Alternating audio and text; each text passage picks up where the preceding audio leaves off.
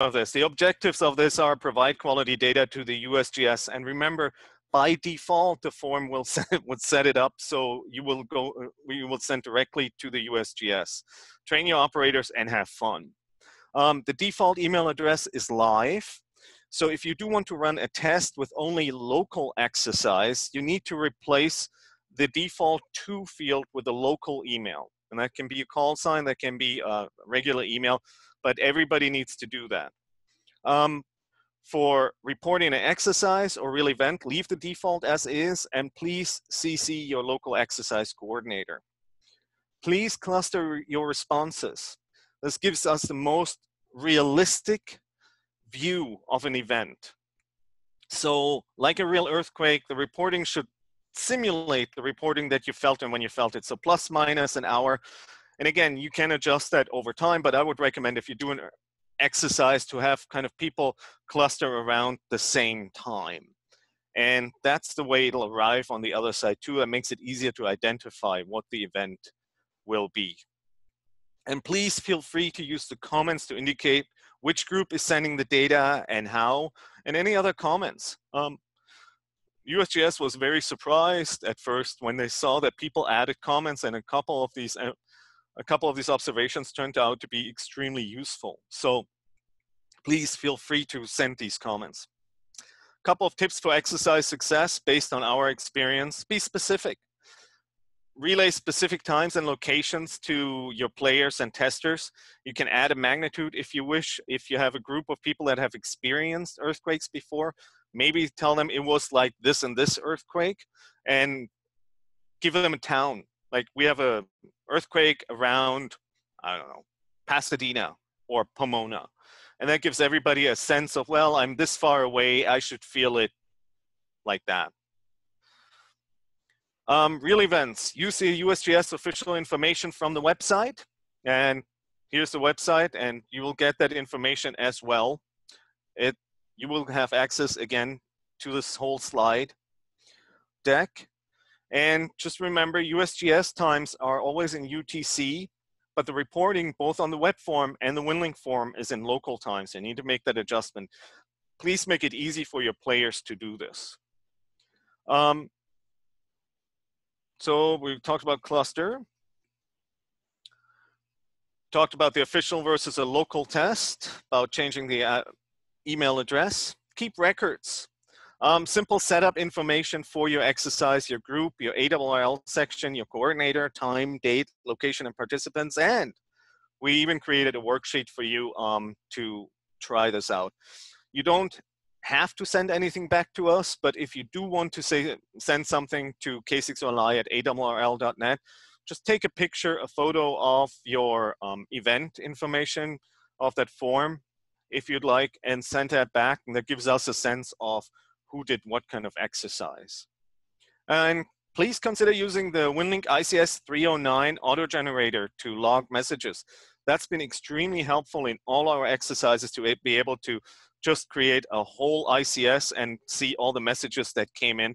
And this is part why it's so important to CC your exercise coordinator because he or she can create this log and then see who participated and when the messages came in. Extremely helpful. And we talked about taking a photo of your worksheet. And above all, have fun. Make sure your players have fun. This is what this is all about. And let's face it, when we have those big Cascadia earthquakes or that volcano that um, has an earthquake in, in uh, Hawaii or here the San Andreas in Southern California or the many earthquakes all throughout the Western states um, and Puerto Rico, then keep in mind, it probably won't be fun, but at least you'll know how to do it because you had fun in, uh, leading up to it.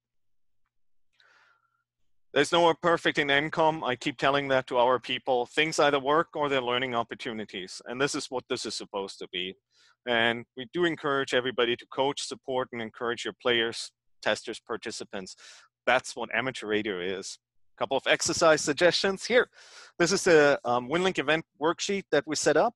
And you can just fill it out, your group, your ARRL section, um, who your event coordinator is, an event name. If it's a exercise, come up with a snazzy name. It always helps. Uh, makes it more fun.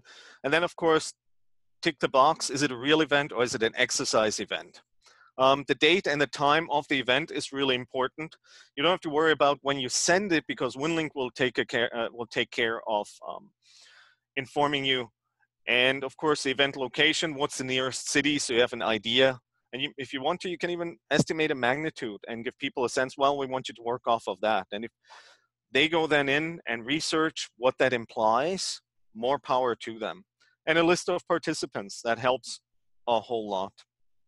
Um, we already talked about all the parts and you know the location should be where you where you think the epicenter should be located. And again, you can do two, three, four if you want to, and practice this and have them at different times. In fact, if you have sections or areas that are adjacent and you have good relationships with the areas adjacent, why not have a large earthquake and have coordinate an exercise where you have multiple sections um, send in reports for the same event. So that's an idea. Just an example here, what it would look like in a real world example, real event example. You tick the real event box, but you'd still set, um, fill it out the same areas LAX Northeast, section LAX, Jeff, uh, Jeff W2 JCL would be our coordinator, call it the Ridgecrest earthquake. And this is um, one, the one year anniversary of the Ridgecrest earthquakes is actually July 4th and 6th.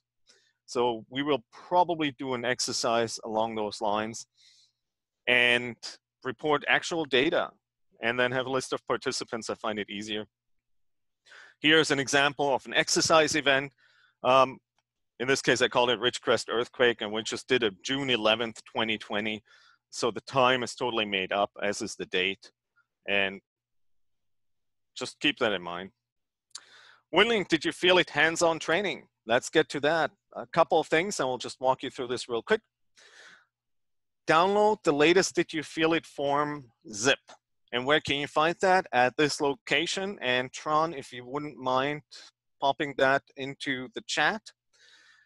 This is where it's located. This is a stable URL. So if there are any updates to it, we will do that. Probably we're not going to mess with it until the end of this beta testing cycle.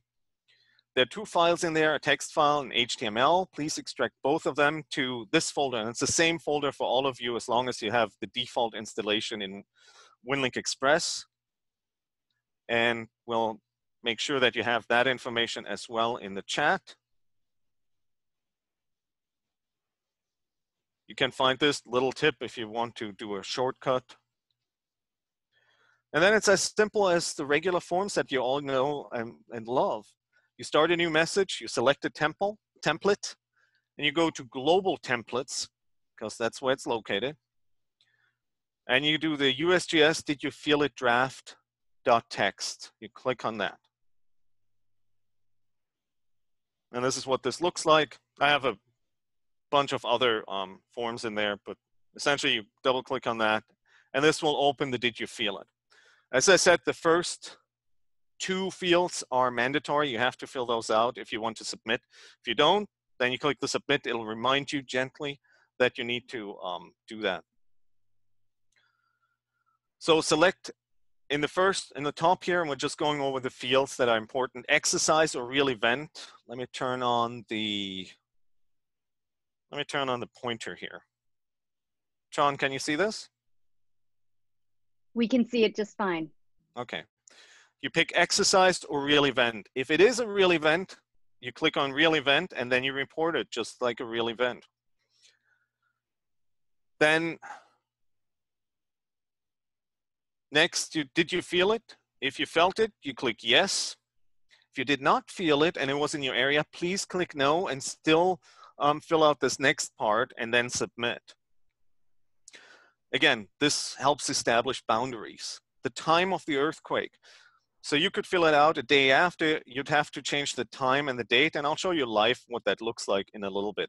But you can change all of this. This is auto-populated for you to make it convenient. Then the address, please fill in here.